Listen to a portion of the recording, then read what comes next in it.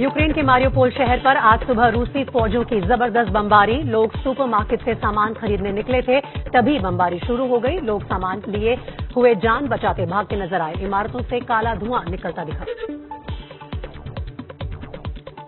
Mariupol सहित Ukraine के दो शहरों में आज ढाई घंटे के लिए सीज फायर का ऐलान किया गया है। लोगों को सुरक्षित निकलने देने और ज़रूरी सामान लेने के लिए रूस की ओर से सीज फायर का ऐलान हुआ है।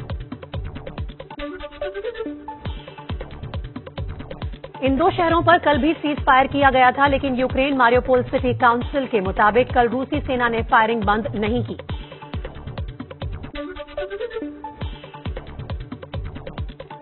रूसी रक्षा मंत्रालय ने जारी किया यूक्रेन पर हमले का नया वीडियो। यूक्रेनी ठिकानों को निशाना बनाते दिख रहे हैं रूसी सैनिक। यूक्रेन के शहरों पर लगातार जारी है बमबारी।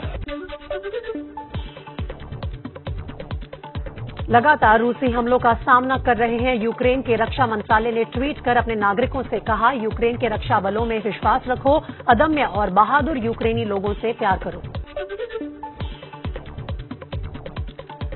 यूक्रेन में जंग का ग्यारहवां दिन, राजधानी कीव पर हमले का अलर्ट थोड़ी थोड़ी देर में बज रहा है खतरे का सायरन।